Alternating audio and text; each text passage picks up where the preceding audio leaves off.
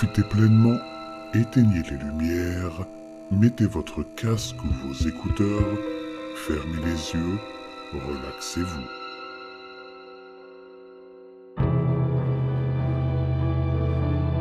Le petit joueur de flûte.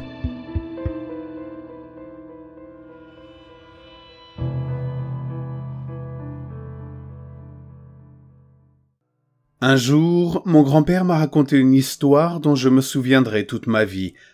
J'avais onze ans, et ce n'était clairement pas quelque chose à raconter à un enfant de cet âge-là. C'est une histoire aux racines perturbantes et au dénouement morbide.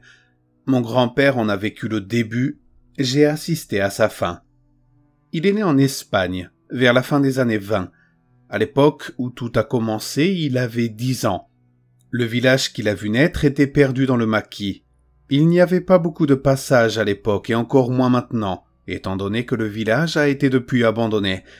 Il n'était situé sur aucun grand axe routier, n'était proche d'aucune grande ville.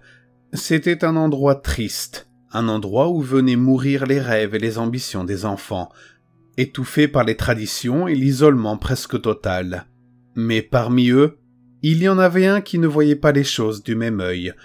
Son père le destinait comme beaucoup d'autres au village à lui succéder comme vigneron. Mais le garçon se rêvait flûtiste dans un grand orchestre. Il se voyait jouer devant des centaines de personnes à Madrid ou encore à Barcelone.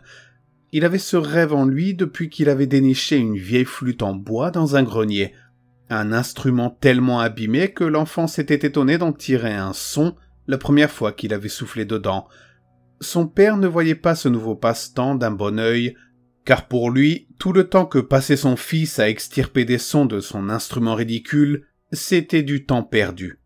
Il aurait dû à la place apprendre les différentes techniques de la coupe du raisin, ou encore les méthodes de levage, d'agrafage.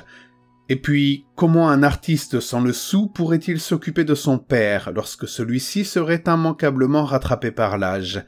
Se dissimulant au regard désapprobateur de son père, le garçon commença à jouer en cachette. Mais au village, les murs avaient des oreilles, et le son distinctif de sa flûte ne passait pas inaperçu.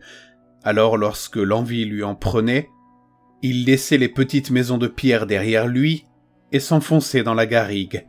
Il marchait longtemps, passant ravins et crevasses, montant et dévalant les collines.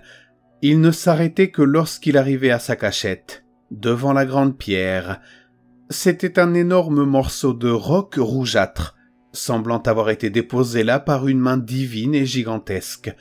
Le garçon s'asseyait toujours sur la même vieille souche d'arbre, et après avoir regardé par-dessus son épaule, il jouait de sa flûte sans se soucier de savoir si on l'écoutait ou pas. Les premiers temps, les notes étaient hésitantes les sons qui sortaient du petit instrument de bois étaient stridents et tremblants. Mais plus l'enfant venait s'asseoir face à la pierre, plus les jours passaient, et mieux il jouait de sa petite flûte. Il arriva bientôt à créer des mélodies de plus en plus complexes. Un jour, alors qu'il jouait comme à son habitude, un corbeau noir comme la nuit vint se poser sur la grande pierre. L'enfant s'arrêta de jouer et observa le volatile. Cette fois-ci, le garçon avait un public. Il se remit donc à jouer et à la fin de son récital, salua bien bas le corbeau avant de s'en aller.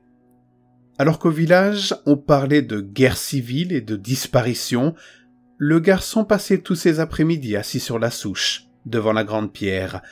Le corbeau était toujours au rendez-vous pour assister au spectacle.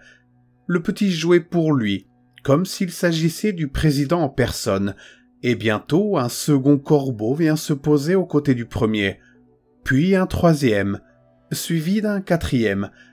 Au bout de plusieurs semaines, pas moins de quarante corbeaux venaient se poser tous les jours sur la grande pierre. Il arrivait même parfois que les volatiles arrivent avant lui. Le garçon entrait donc sur scène, saluant son auditoire. Mais avec le temps, ses concerts se firent plus rares. Son père, en effet, interdit l'enfant de sortir en fin d'après-midi et lui intima l'ordre de rester loin de la grande pierre rouge. Puis finalement, lui interdit de sortir tout court. Des gens disparaissaient au village. Le boulanger s'était volatilisé, suivi du meunier. des gens qui parlaient trop fort d'après le père du garçon. D'autres habitants étaient partis sans explication. Des gens respectables, pourtant bien établis dans le village, déménageaient du jour au lendemain. Le doux son de la flûte, les mélodies, le grand air, tout ceci vint à manquer à l'enfant qui se morfondait à la fenêtre. C'est ainsi qu'un mois plus tard, alors que d'autres villageois avaient encore disparu, le petit garçon profita du lourd sommeil de son père pour s'éclipser.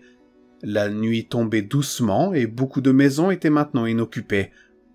On raconte qu'arrivé non loin de la grande pierre, le garçon vit de la lumière et des centaines de corbeaux volant en cercle autour de l'endroit. Les habitants qui vivaient encore au village, bien que peu nombreux, racontèrent avoir entendu un bruit terrible et sec, comme un coup de fouet titanesque qui résonna dans toute la vallée. On raconta aussi qu'une odeur atroce put être sentie dans tout le village, jusqu'à l'intérieur des maisons. L'enfant, quoi qu'il advint de lui, ne revint jamais de sa promenade au crépuscule.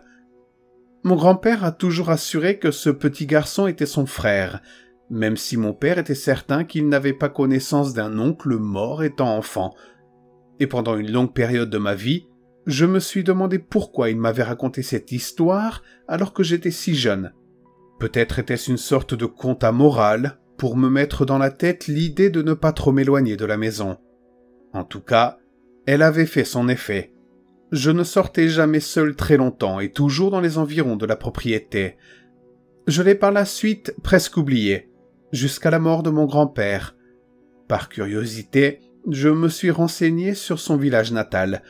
Je n'ai rien trouvé qui parlait d'une légende d'enfant jouant de la flûte au corbeau, mais j'ai découvert quelque chose de beaucoup plus triste. Le village, à l'époque où mon grand-père y était enfant, s'était retrouvé tiraillé par la guerre civile espagnole. Beaucoup d'habitants ne soutenaient pas le régime franquiste et certains même le revendiquaient ouvertement. Les troupes nationalistes stationnées dans la région faisaient régulièrement des descentes au village pour emmener les habitants qui affichaient avec trop de conviction leur soutien aux républicains, les soupçonnant de leur apporter de l'aide dans leur déroute. Les descendants des disparus ont longtemps ignoré le sort de leurs aïeux. Ils s'étaient volatilisés, sans laisser de traces, emportés par les fascistes. Avaient-ils été emmenés dans des camps de concentration? Avaient-ils été fusillés où était leur corps? Des questions qui restèrent longtemps sans réponse. Mais il y a quelques années, ces familles se sont réunies pour pousser le gouvernement espagnol à se pencher sur leur cas. Les recherches qu'ils ont menées leur ont permis de découvrir une fosse commune, non loin d'une immense pierre rouge, dans laquelle se trouvaient 28 corps, calcinés pour la plupart, tous abattus d'une balle dans la tête ou la nuque il n'y avait qu'un seul cadavre dont les os étaient restés intacts. D'après les enquêteurs, il avait été tué bien après les autres, et n'avait pas été brûlé comme eux. C'était un squelette d'enfant présentant lui aussi la marque d'une balle, placée entre les deux yeux, ce qui a définitivement fini par me persuader de la vérité de l'histoire de mon grand-père, c'était l'objet que tenait l'enfant, dans sa main toujours serrée, une petite flûte en bois,